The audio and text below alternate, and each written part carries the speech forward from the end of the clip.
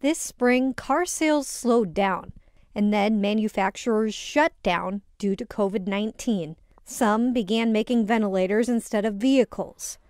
Beardmore owner Brian Hamilton says they were getting worried. All of a sudden, people wanted to, to drive their own cars. So it took off, and they didn't want to ride Uber or Lyft or rent cars. They wanted their own car.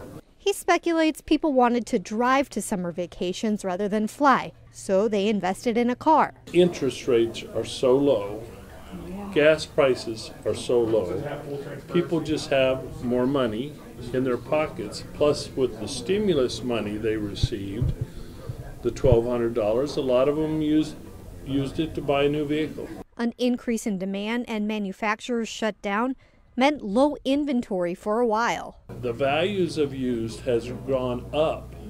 Typically, every month they go down. Well, because of this uptick in business, the values went up. Edmunds says the average value for all vehicles traded in July was just over $14,000.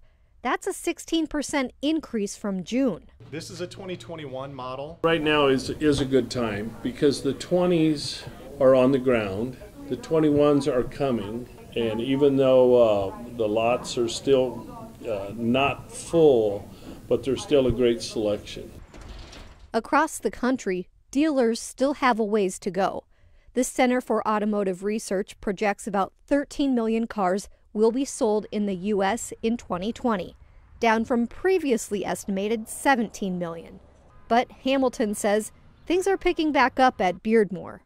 In Bellevue, Stephanie Nolte, 3 News Now.